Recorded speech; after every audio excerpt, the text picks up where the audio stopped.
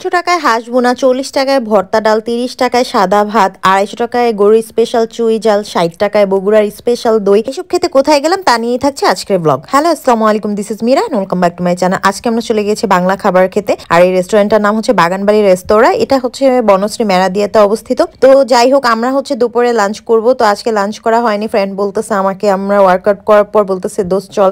আজকে একটু ঝাল ঝাল খাবার খেতে ইচ্ছে করতেছে হাসবো না এরকম। তো আমি বললাম, এখানে তো আমি জানি না। ও বলল যে, চল বাগানবাড়ি রেস্টুরেন্ট এটাতে আমি একবার খেয়েছিলাম, অনেক মজা। তো যাই হোক, ওদের মেনু কার্ডটা দেখে আমরা খাবারগুলো অর্ডার করে দিলাম। তো খাবারগুলো চলে আসছে এক এক করে, আর আসতে বেশি সময় লাগেনি। এখানে পাতলা ডাল আছে, তারপর হচ্ছে দুই রকমের ভর্তা, করলা ভাজি, এখানে আছে হাঁস ভুনা, তারপর হচ্ছে এখানে গরুর স্পেশাল চুই ঝাল, সাদা ভাত। ভাতের প্রাইস কিন্তু তিরিশ টাকা করে, তো এই তো আর কি, এগুলোই আমরা আজকে অর্ডার করেছিলাম। তো এখন হচ্ছে তোমাদেরকে একটু ক্লোজলি দেখিয়ে দিচ্ছি, এটা হচ্ছে গরুর স্পেশাল চুই ঝাল। এটার প্রাইস হচ্ছে আড়াইশো টাকা আর এখানে হচ্ছে হাঁসের মাংস, দুই পিস থাকবে বড় বড়, এটার প্রাইস হচ্ছে তিনশো টাকা। তো চুই ঝালটা আমার কাছে প্রাইস অনুযায়ী ভালো লেগেছে, আর হাঁসের মাংসের প্রাইসটা আমার হচ্ছে একটু বেশি মনে হয়েছে, তিনশো টাকা হিসেবে, মাত্র দুই পিস দেয়, আর একটু দিলে ভালো হতো। তো এখন হচ্ছে আমি খাওয়ার পালা, খেয়ে জানাচ্ছি কোনটা আমার কাছে বেশি ভালো লাগছে। তো ফার্স্টে হচ্ছে কচুর গাটি, যা মুখি যেটা বলি না, ওইটার ভর্তা দিয়ে খাচ্ছিলাম। এটা হচ্ছে নর্মাল আমরা বাসায় বানালে যেরকম হয় ওরকমই স্পেশাল কিছু না যে খুব বেশি মজা, ওরকম না। তারপর হচ্ছে তাদের কাঁচা কলা যে ভর্তাটা আছে, এটা দিয়ে খাব। এটা আমার কাছে ভালোই লেগেছে মোটামুটি।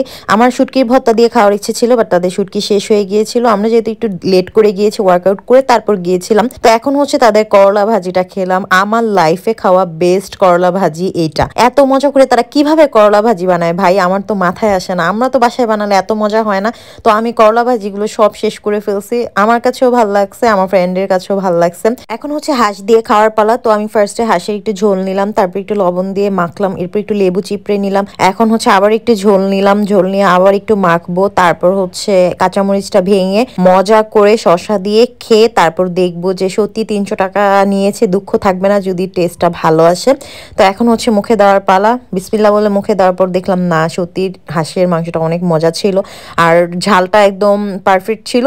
তবে আমরা যেহেতু ঝাল বেশি খাই, তো আমাদের জন্য আরেকটু ঝাল হলে ভালো হতো বাট তারা ঝালটা একদম সবার জন্য বুঝে রেখেছে। কারণ হচ্ছে এখানে সব ধরনের মানুষই খেতে আসে। কেউ ঝাল বেশি খেতে পছন্দ করে, কেউ ঝাল কম খেতে পছন্দ করে। এই জন্য তারা মিডিয়াম ঝালটা রেখেছে। যার হচ্ছে বেশি লাগবে সে কাঁচামরিচ খাবে, আর যার ঝাল কম খেতে পছন্দ করে তারাও যেন খেতে পারে। তারপর হচ্ছে চুই ঝালটা নিলাম। চুই ঝালে আমরা এরকম এক পিস চুই পেয়ে যাব, সাথে এক পিস রসুন পাবো। তো চুই ঝালটা আমার কাছে মানে অনেক ভালো লাগছে দেখে, কারণ হচ্ছে এটার কোয়ালিটি কোয়ান্টিটি মানে সবকিছু একদম পারফেক্ট ছিল। হাঁসের মাংসটাও মজা ছিল বাট হচ্ছে কোয়ান্টিটিটা একটু কম লেগেছে এই জন্য আর কি। আর এখানে যে গরুর স্পেশাল চুই ঝালটা, এটার ভিতরে কোয়ান্টিটি আমার কাছে পারফেক্ট লেগেছে। এরকম একটা আস্ত রসুন পাবো, তারপর হচ্ছে একটা চুই ঝাল পাবো। তো আমি রসুনের কোয়াগুলো বের করে তারপর হচ্ছে একটু চটকে নিলাম, সাথে একটু লেবু দিলাম, একটু কাঁচামরিচ ভেঙে এখন মুখে দেওয়ার পালা। ট্রাস্ট মি এটা অনেক মজার ছিল।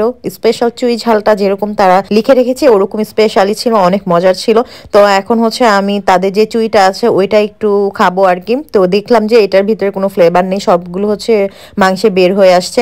এখন আমার লাস্ট পার্ট খাবারের যেটা সবসময় আমি করি গরুর মাংস হলে বিশেষ করে একটু ঝোল নেই, একটু হচ্ছে বিফ মেখে নেই একটু লেবু নেই, কাঁচামরিচ নেই, তারপর হচ্ছে একটু ডাল নেই। ডালের সাথে গরুর মাংসের ঝোল দিয়ে খেতে কার কার পছন্দ কমেন্ট করে জানাতে পারো। তারপর এইভাবে কাঁচামরিচ ভেঙে তারপর একটু বিফ দিয়ে এরপর হচ্ছে মুখে দেই। ভাই, এটা যে মজা লাগে, যারা খাও তারা অবশ্যই কমেন্ট করবা। এই তো আমার খাওয়া দাওয়া শেষের পর্যায়ে এখন হচ্ছে আমি সুন্দর করে কেচি কুচে ভাতগুলো খেয়ে নিব। সাথে কিন্তু লেবু দিয়ে খেতে আমার অনেক ভালো লাগে। আমি লেবু ছিলকাটা কামড়ে কামড়ে খাই। শীতে তোমাদের সাথে এটা হয় কিনা জানি না। আমি দুপুরে যদি ভাত খাই তারপর হচ্ছে আমার প্রচুর শীত লাগে। তো এই জন্য আমার অনেক ঠান্ডা লাগতেছিল। এখানে বসে আমি হাতটা ধুয়ে ফেলতেছি। আমার উঠে আর বেশি যেতে ইচ্ছে করতেছিল না এই জন্য এখানে বসে আমি সুন্দর করে হালকা কুসুম গরম পানিতে আর লেবুতে হাতটা ধুয়ে ফেলছি। এরপর হচ্ছে লাস্ট পাতে আমাদের যেই স্পেশাল খাবার, সেটা হচ্ছে বগুড়ার দই। আর এই দইটা কিন্তু একদম বগুড়া স্পেশাল দই ট্রাস্ট মি এটা এত টেস্টি ছিল। আমি তোমাদেরকে ক্লোজলি একটু দেখিয়ে দিচ্ছি।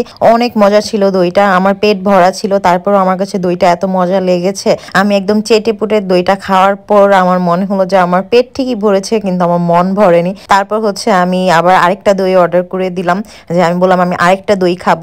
তো আমার ফ্রেন্ড আসলে বুঝতে পারছে। ও বলতেছে, আজকে তোর জিমের বারোটা বাজছে আর কি, তুই মন ভরে খা, খাইতেছিস যেহেতু মন ভরেই খা। তো এই ছিল আমার আজকের ভিডিও আশা করি তোমাদের ভালো লেগেছে। ভালো লাগলে কি করতে হবে? আমার পেজে লাইক অ্যান্ড ফলো দিয়ে দিতে হবে। আর আমার ইউটিউব চ্যানেলটা সাবস্ক্রাইব করে দিতে হবে।